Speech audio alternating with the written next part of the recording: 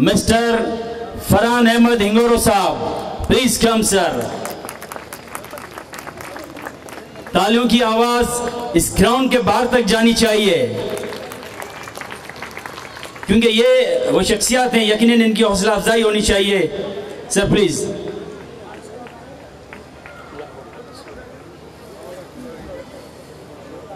بسم اللہ الرحمن الرحیم السلام علیکم السلام علیکم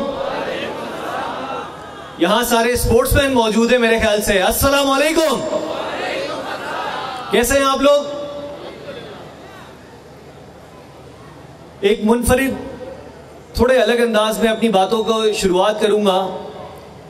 ایک بڑے ہی باریک احساس کی طرف آپ سب کی توجہ دلانا چاہوں گا۔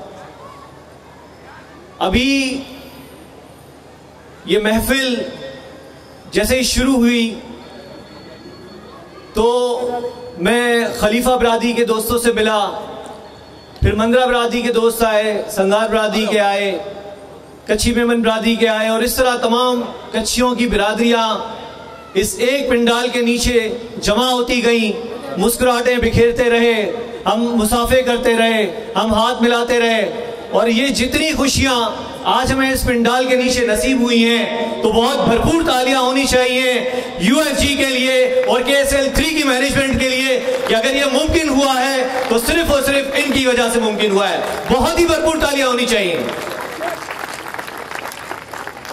آج نوجوان، اگر ہم ہمارے ماحول کو دیکھیں تو بہت سی فضولیات میں اپنے وقت صرف کر رہے ہیں۔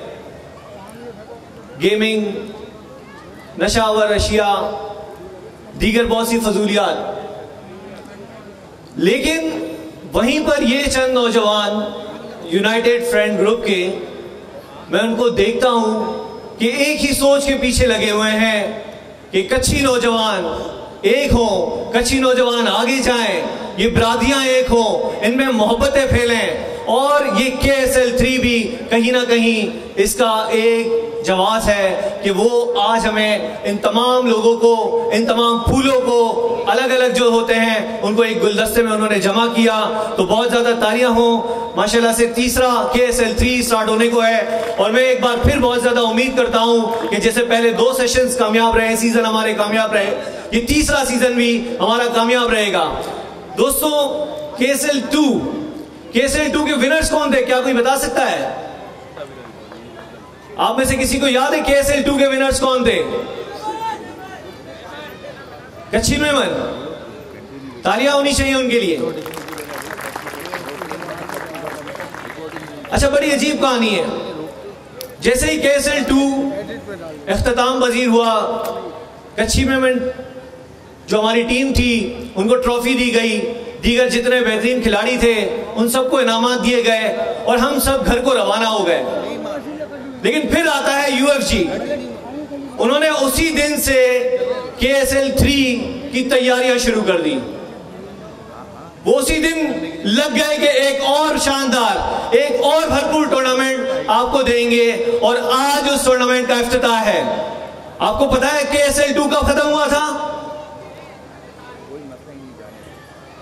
کے ایس ایل ٹو آج سے ڈیڑھ سال پہلے میرے خیال ختم ہوا تھا اور کے ایس ایل تھری میں اس ڈیڑھ سال کی مشقت لگی۔ پھر وہ باریکیاں کٹس تیار کرنا، ٹیموں کو ایک سا یکجا کرنا، ان کے اندراج کرانا، ان کا گروپنگ کرانا اور تمام تر اخراجات، یہ تمام تر سنبھالے کے ایس ایل نے۔ اور یقیناً میں خراج تحسین پیش کرتا ہوں ان کی اس بہترین سوچ کو کہ جس طرح سے وہ اپنی سوچ کو لے کر چل رہے ہیں اور ان کی سوچ یہی ہے کہ ہماری کچھی برادیاں یکجا ہو جائیں، اکٹھا ہو جائیں، ایک جھنڈے تلے آ جائیں اور ان میں محبتیں ہوں، ان میں یکجہتی ہو، ان میں پیار، محبت ہو اور میں خراج تحسین پیش کرتا ہوں اور ایک بار پھر آپ کی تالیاں ہونی چاہیے ان کے لیے۔ ایک بہترین ٹورنامنٹ چلانا یقیناً بہت مشکل ہوتا ہے۔ اور اس میں بہت زیادہ اخراجات آتے ہیں۔ آج کی یہ سیریمنی آپ دیکھ رہے ہیں، ایک شاندار سیریمنی ہے۔ ایک شاندار گروپ ڈسٹریبیوشن یہاں پر ہوگا اور کٹس ڈسٹریبیوشن یہاں پر ہوگا۔ اس کو مینیج کرنا آپ یقین مانیں ہم فزیبلٹی بناتے رہے، وہ فیزیبلٹی ڈسٹرب ہوتی رہی۔ ہم پھر فیزیبلٹی بناتے رہے، وہ فیزیبلٹی ڈسٹرب ہوتی رہی۔ اور ہمارے یو ایف جی کے جتنے دوست ہیں وہ کہتے تھے کہ آج گڑ ڈالتے رہو، میٹھا کرتے رہو، گڑ ڈالتے رہو، میٹھا کرتے رہو۔ اور انشاءاللہ اسی طرح کا میٹھا یہ ٹورنامنٹ ہم توقع کرتے ہیں کہ آپ سب کے سامنے ہوگا۔ میں شکر گزار ہوں اسپانسرس کا کہ جو ہمارا تعاون کر رہے ہیں اور ہمارے اس موٹے پہ ہماری مدد کر رہے ہیں۔ Thank you so much for all of you. Thank you.